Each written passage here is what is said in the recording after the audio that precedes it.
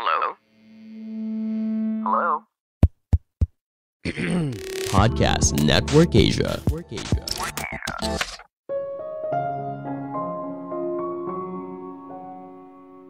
Otak kita tidak bisa membuat keputusan yang tepat ketika dalam kondisi stres. Dalam kondisi tersebut, kita sulit berpikir dengan jernih. Halo semuanya, nama saya Michael. Selamat datang di podcast saya, Sikutu Buku. Kali ini saya akan membahas bagaimana kita bisa tetap tenang ketika dalam kondisi yang stres. Ini merupakan rangkuman dari video TED Talk Daniel Levitin yang berjudul How to Stay Calm When You Know You Will Be Stressed dan diolah dari berbagai sumber. Ketika berada dalam stres, kita tidak bisa berpikir dengan jernih. Faktanya, otak kita telah berevolusi selama ribuan tahun untuk mengeluarkan hormon kortisol dalam situasi yang stres.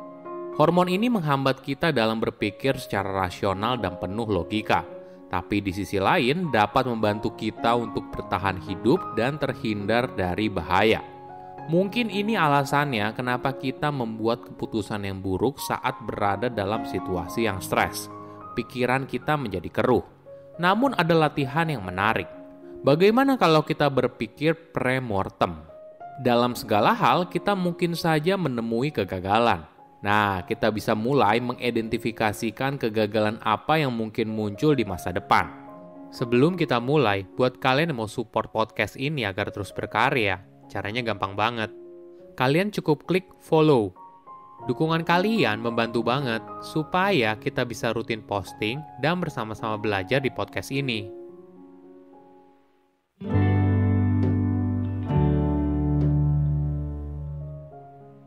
Beberapa tahun yang lalu, Daniel membobol rumahnya sendiri. Saat itu, dia baru saja pulang tengah malam dalam kondisi musim salju yang sangat dingin setelah mengunjungi temannya di kota yang lain. Ketika sampai di rumah, Daniel baru sadar kalau kuncinya tertinggal di meja makan rumahnya. Jadi, dia mulai berkeliling dan mencoba setiap pintu dan jendela, tapi semuanya terkunci rapat.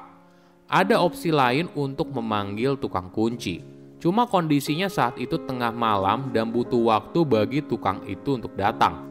Daniel juga tidak bisa kembali ke rumah temannya untuk menginap, karena keesokan harinya dia harus pergi ke Eropa dengan penerbangan pagi hari dengan membawa paspor dan koper yang masih ada di rumah. Dalam kondisi yang putus asa, Daniel lalu mengambil batu dan memecahkan kaca jendela yang berada di ruang bawah tanah miliknya.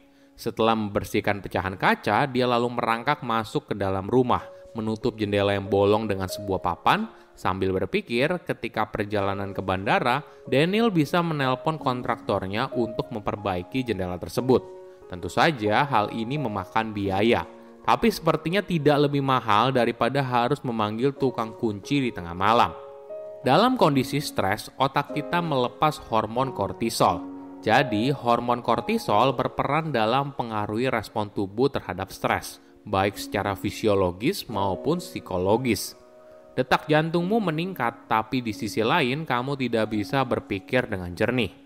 Keesokan harinya, Daniel bangun dalam kondisi kurang tidur. Khawatir karena jendelanya yang bolong, kepikiran harus menelpon kontraktor, cuaca yang sangat dingin, hingga pertemuannya di Eropa. Semua hal ini membuat dirinya dalam keadaan stres. Hingga pada saat dirinya berada di counter check-in, Daniel baru sadar kalau paspornya masih tertinggal di rumah. Dia pun lalu buru-buru pulang dan kembali ke bandara. Beruntungnya, Daniel tidak ketinggalan pesawat, tapi kursi yang awalnya dipesan sudah diberikan kepada penumpang lain. Jadi dia mendapat kursi yang baru dekat toilet yang tidak bisa dimundurkan dalam penerbangan 8 jam ke Eropa tanpa tidur. Semua kejadian tersebut membuat dirinya berpikir, apakah ada yang bisa dilakukan dengan lebih baik? Apakah dia bisa membuat sebuah sistem untuk mencegah kejadian buruk? Atau apabila kejadian, maka dia bisa meminimalisir resikonya sehingga tidak menjadi bencana yang besar.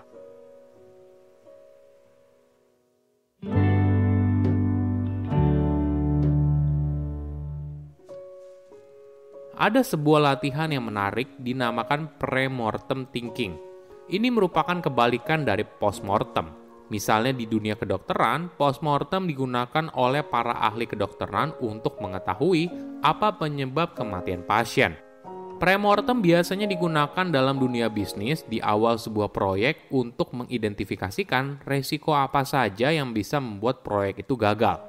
Misalnya dalam sebuah sesi latihan, sebuah proyek gagal ketika CEO-nya mengundurkan diri atau proyek itu gagal ketika pemerintah merubah kebijakannya.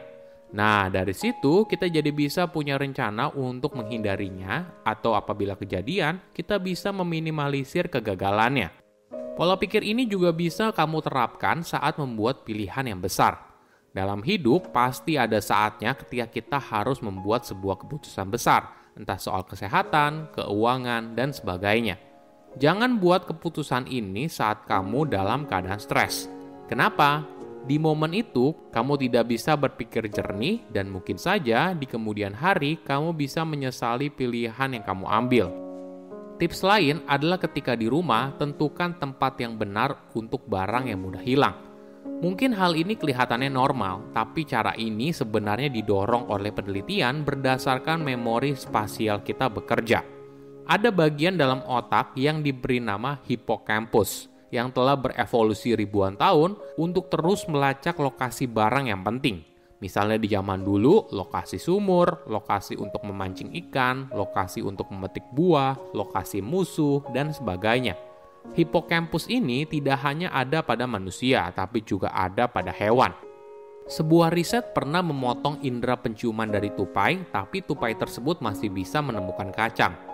Tupai tidak menggunakan penciumannya, tapi menggunakan hippocampus dan ini merupakan cara otak menemukan sesuatu. Namun hipokampus baru bisa berjalan efektif pada benda yang tidak berpindah-pindah. Inilah alasan kenapa kita sering kali kehilangan kunci mobil, kacamata, atau paspor. Solusinya, kita harus punya tempat khusus untuk setiap barang yang penting buat kamu. Misalnya gantungan kunci di dekat pintu untuk menaruh semua kunci yang penting, atau tempat khusus untuk menaruh paspor, dan sebagainya. Jadi, setiap kali kita butuh barang tersebut, kita tahu ke mana harus mencarinya.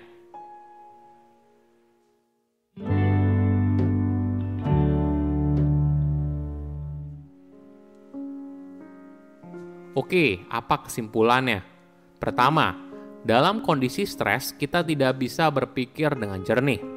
Dalam kondisi stres, otak kita melepas hormon kortisol. Jadi, hormon kortisol berperan dalam pengaruhi respon tubuh terhadap stres, baik secara fisiologis maupun psikologis. Detak jantungmu meningkat, tapi di sisi lain kamu tidak bisa berpikir dengan jernih.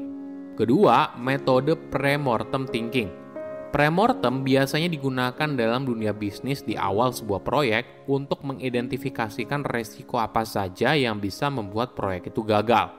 Misalnya dalam sebuah latihan, sebuah proyek gagal ketika CEO-nya mengundurkan diri atau proyek itu gagal ketika pemerintah merubah kebijakannya. Nah, dari situ kita jadi bisa punya rencana untuk menghindarinya atau apabila kejadian kita bisa meminimalisir kegagalannya. Ketiga, menyimpan barang penting di tempatnya. Menjadi orang yang rapi itu banyak manfaatnya. Salah satunya adalah kita bisa lebih mudah menemukan barang yang penting.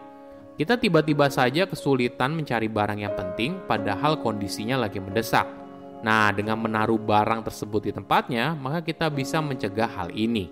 Saya undur diri, jangan lupa follow podcast Sikutu Buku. Bye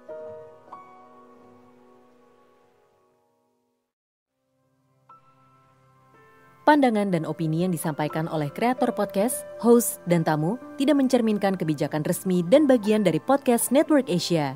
Setiap konten yang disampaikan mereka di dalam podcast adalah opini mereka sendiri dan tidak bermaksud untuk merugikan agama, grup etnik, perkumpulan, organisasi, perusahaan, perorangan, atau siapa pun dan apa pun.